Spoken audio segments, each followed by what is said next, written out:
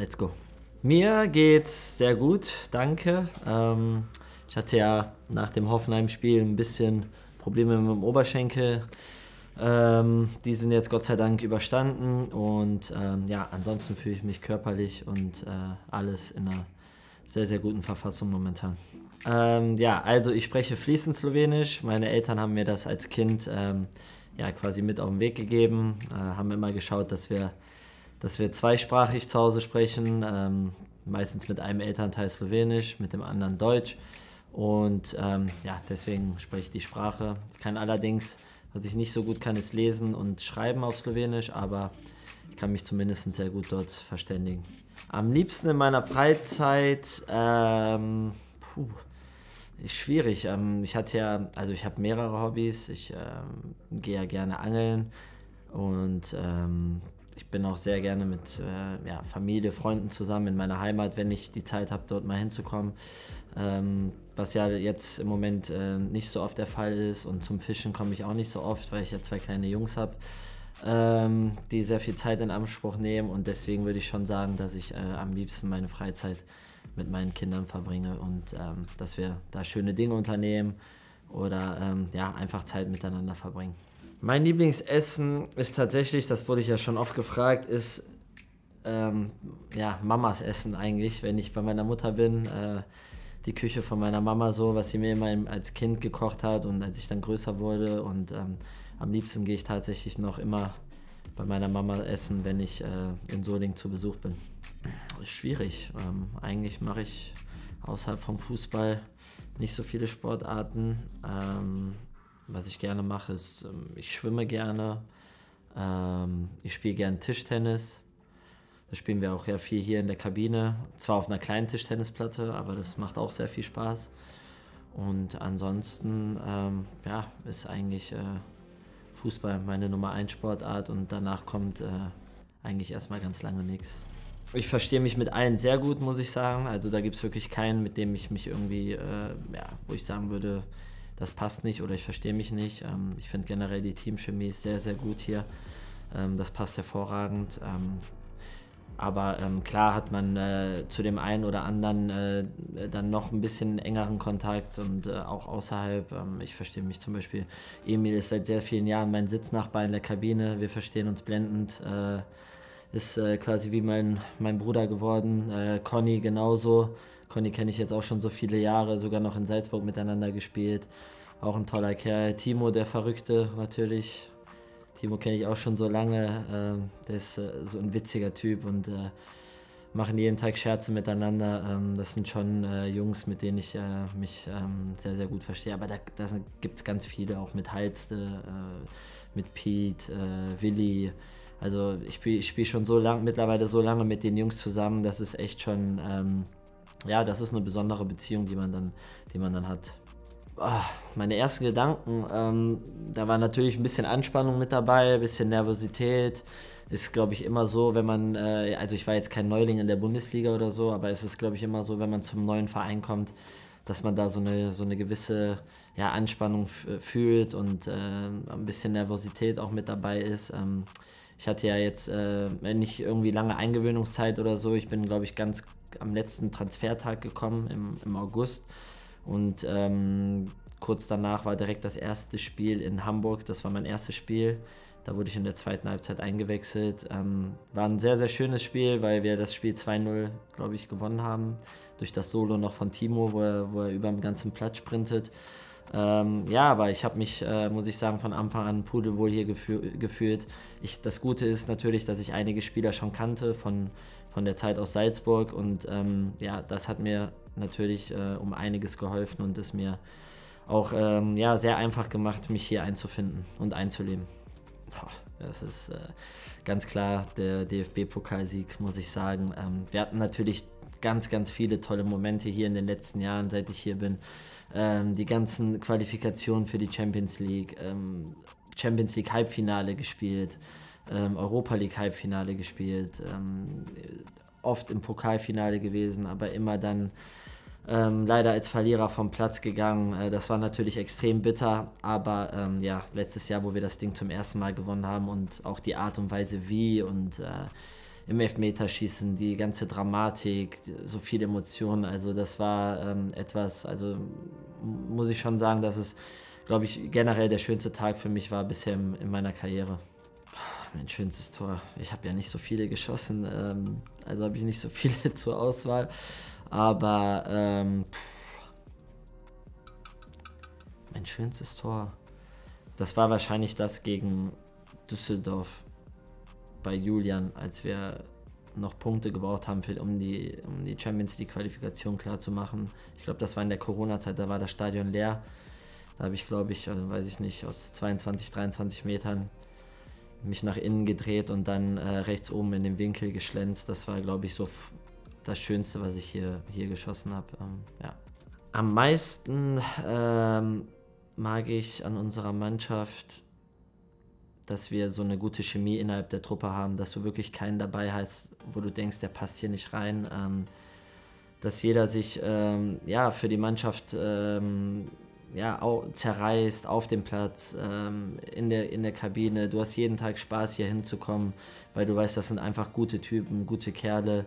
Ähm, das, ist, das ist schon was Besonderes und gerade auch äh, für mich so, ich bin jetzt schon lange dabei, ich war ja schon bei vielen, vielen Vereinen auch ähm, muss ich schon sagen, dass das, äh, ja, dass das hier schon, schon besonders ist und dass ich das so in der Art auch noch nicht äh, hatte bei, bei den anderen Vereinen, dass wirklich die, die Chemie in der Truppe ähm, und ähm, so der Umgang untereinander so gut ist äh, wie hier. Ja, also okay, also Janis Haare müssen immer perfekt sitzen. Das ist mir schon aufgefallen. Die müssen immer 1A sitzen. Ähm, würde jetzt äh, eigentlich so sagen, Sobo und Benny, die haben immer so ausgefallene Outfits und immer so diesen Drip, wie man, wie man sagt, ne? in der Sprache. Ähm, ja, also ich glaube, die beiden, die, die legen schon ähm, ja, sehr viel auf ihr Äußeres und ähm, dass sie gut ge fresh gestylt sind, ist ihnen, glaube ich, schon sehr wichtig. Aber ähm, ja, sei ihnen gegönnt und finde ich auch gut, dass sie es machen.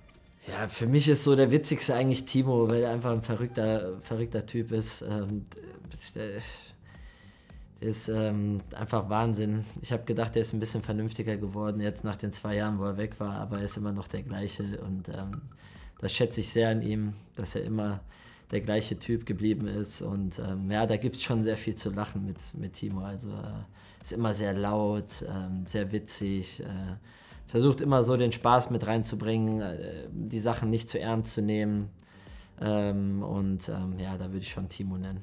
Okay, dann würde ich sie dann sagen, weil das war immer mein Idol, als ich klein war und ähm, ich fand ihn einfach außergewöhnlich. Ähm, war ja auch Mittelfeldspieler, so ein, so ein Motor der Mannschaft immer und äh, hat das Spiel gelenkt in jede Richtung und das war schon äh, in meiner Jugend, wo ich aufgewachsen bin, war, war der für mich äh, so derjenige, wo ich mir geträumt hätte, mal mit so einem Spieler in einer Mannschaft zu spielen.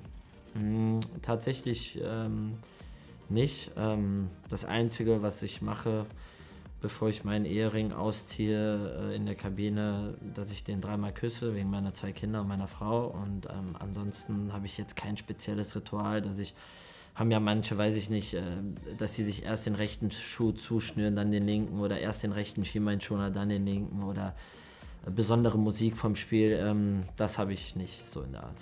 Ähm, ja, sehr viel muss ich sagen, weil sie mich so quasi durch meine Karriere begleitet, schon die ganze Zeit. Ähm, überall, wo ich war, hatte ich eigentlich äh, die Nummer 44 bis, in, bis auf meine ersten zwei Stationen in Osnabrück und in Aalen. Ähm, und damals, wo ich ganz jung war, als ich in Leverkusen zu den Profis kam, aber als ich dann so richtig Fuß gefasst habe als, als Profi, in Salzburg, ähm, da habe ich die 44 bekommen, tatsächlich, weil, weil eigentlich immer die Nummer 8 meine Lieblingsnummer war. Und die war aber leider besetzt dort. Und dann waren, glaube ich, nur noch drei Nummern frei in Salzburg. Und darunter war auch die 44 und 4 plus 4 war 8, deswegen habe ich die 44 genommen. Und ähm, ja, die hat mir dann ähm, irgendwie Glück gebracht. Und ähm, ja, wurde, wurde auch mit zu meinem äh, Markenzeichen. Und deswegen habe ich sie immer wo ich dann auch hingegangen bin, habe ich darauf bestanden, dass ich die 44 haben muss und ähm, deswegen ist die 44 schon was Besonderes für mich. Ja, also ähm, ich fange jetzt mit meinem Schein an. Ähm, also das wird ja natürlich auch ein bisschen Zeit in Anspruch nehmen. Das möchte ich aber, ich muss ja ein paar Lizenzen machen, um dann irgendwann zugelassen zu werden zum Fußballlehrer. Den darf ich dann allerdings erst nach meiner Karriere machen oder kann ich nach meiner Karriere machen. Ähm, deswegen mache ich den, alles, was dazugehört, jetzt schon, versuche ich äh, nebenbei, neben dem Fußball zu machen. Ähm, einfach um das, um das für mich zu haben, um, äh, um dann später zu schauen, wo es mich hinführt, ähm, weil ich schon glaube, dass ich gerne im Fußball aktiv bleiben möchte, ähm, weil das, ich kenne nichts anderes, das ist ähm, quasi mein Leben. Äh, und ähm, ja, deswegen, also ich, ich ähm, weiß noch nicht genau, wo mich mein Weg hinführen wird ähm, oder was ich danach machen werde, weil dafür genieße ich es jetzt gerade auch noch einfach zu sehr, Fußballer zu sein und werde es auch sicherlich noch, äh, solange äh, ich gesund bin und mich äh, fit fühle, auch äh, genießen, weil die Zeit wirst du nie wieder bekommen zurück. Die Zeit kommt nicht mehr wieder ähm, und ähm, alles, was danach kommt, klar versuche ich jetzt Schritt für Schritt das schon ein bisschen vorzubereiten. Ähm, aber ähm, ja, das ist, das ist auch noch, noch nicht so nah jetzt, das kann noch, noch ein bisschen warten. Ja, definitiv. Ähm, ich habe ja schon gesagt, Leipzig ist ähm, wie meine zweite Heimat geworden. Wir fühlen uns pudelwohl hier. Meine Kinder gehen hier in den Kindergarten. Meine Frau fühlt sich extrem wohl. Wir haben tolle Nachbarn hier in Leipzig, mit denen wir uns auch super verstehen. Ähm, das sind alles Gründe dafür, ähm, dass ich mir natürlich das vorstellen könnte, auch, dass ich bei dem tollen Verein hier bin. Ähm, mit denen, ich verstehe mich ja hier wirklich mit allen extrem gut. deswegen, das ist schon wie eine zweite Heimat geworden und deswegen könnte ich mir auf jeden Fall vorstellen, auch nach meiner aktiven Karriere, ja, dem Verein hier treu zu bleiben und ähm, ja, in anderer Weise zu helfen. Mein Lieblingsort ist tatsächlich, ähm, dadurch, dass wir ja in Marklebeck wohnen, ähm, bin ich schon im Sommer gerne mit den Kindern ähm, am Kossi. Dann sind wir, ähm, fahren wir von uns aus mit dem Fahrrad auch gerne hin mit den Kindern. Ähm, ja, ist schön da, wenn du, wenn du da im Sommer, wenn die Sonne scheint, da denkst du, du bist irgendwo im im Urlaub. Ähm, das ist schon äh, ja, für uns ein besonderer Ort und ähm, sehr schön. Äh, kommt drauf an, ob ich äh, die blondieren lasse oder ähm, ob ich nur manchmal zum, zum Seitenkürzen gehe. Ähm, aber wenn ich, wenn ich mit Blondierung und einem Komplettpaket mache, dann würde ich mal so sagen, so um die 150 Euro. Absolut. Ich liebe Rosenkohl. Okay, also ich bedanke mich für eure Fragen. Ich, hoffe, ich, hoffe, ich konnte euch einige beantworten. Und ähm, ich würde gerne als nächstes meinen Bruder Emil Forsberg nominieren.